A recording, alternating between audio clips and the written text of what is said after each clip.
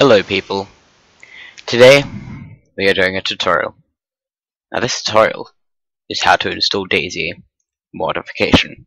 Not standalone modification. Okay, let's get started. First of all, you need to have Steam.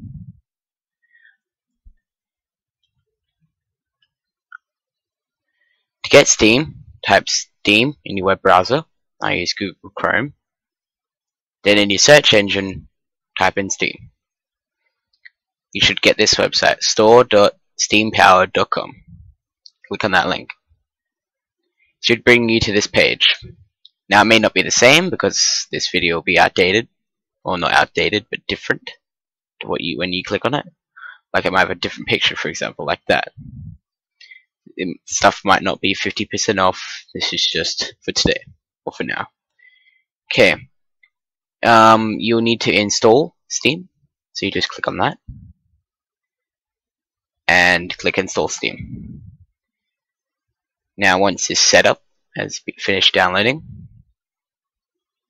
just let it check the files and then you run that installer. After you run that installer, should come up with this, just go next I accept. If you're not 13, get your parents to read this.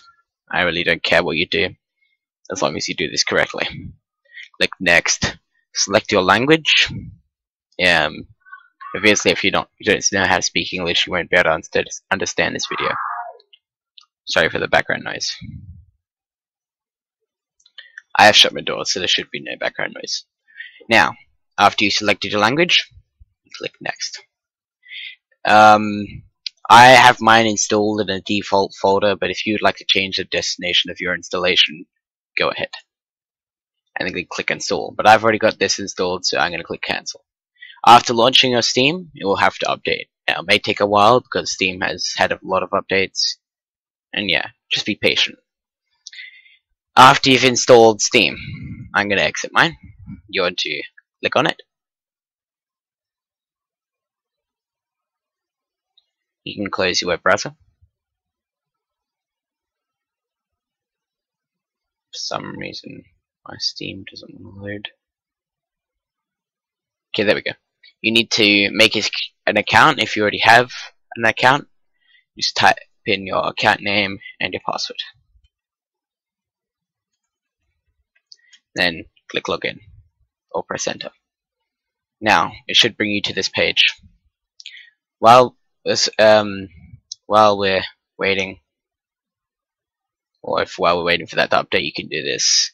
You can go to www.dayzlauncher.com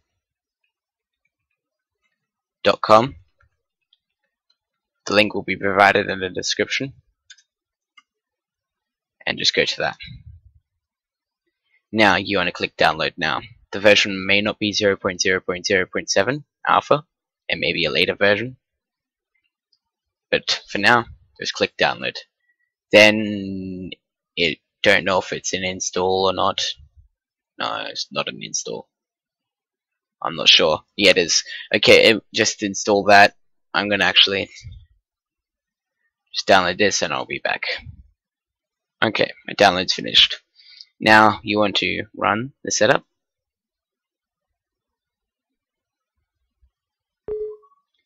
And click yes. Now every time you launch this would need this is going to need administrator rights so it can access your game files. Click next.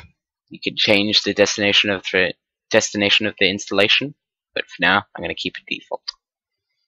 You can choose to have it uh, what you're going to name it in the start menu and just click next. Desktop icon if you want and then it'll show you what you're going to install and click install. But I already have this installed as well, so I'm not going to install again.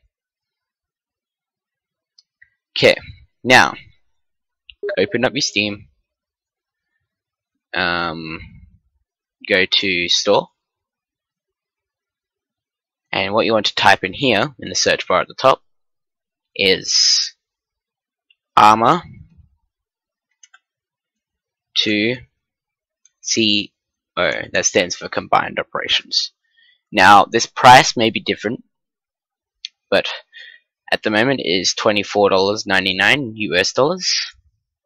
You just want to add that to your cart, go through PayPal payments. I'll show you what it looks like. Purchase for myself. And then you just go through all that shit. And yeah. But I have already bought this game. Okay, after that is you've bought it, it should come up in your um, library of Steam.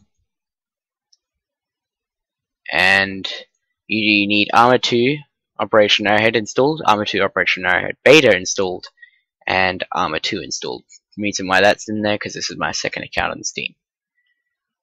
Um, if you do get BattlEye banned on this, which is the um, anti-cheat used by most servers, they also use another program called infiSTAR, and you get BattlEye banned. You don't have to buy the whole thing again. You just go to store and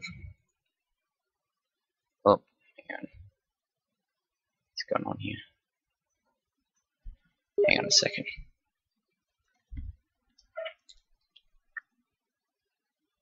Um, hmm.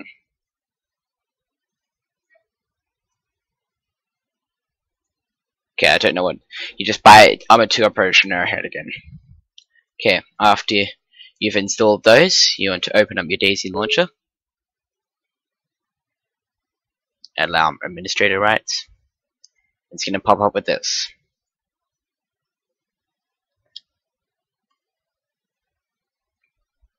Now, you just simply find a server that you want to join, and with this DayZ launcher, it should automatically install the mods if you want to manually install the mods, or not manually, but so download the mods before you try to launch a server, you can download them through here.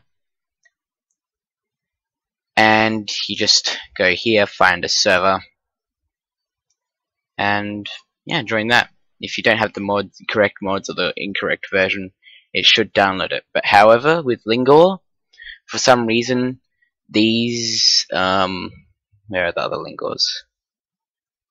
Hmm. These two are outdated. Or that one isn't.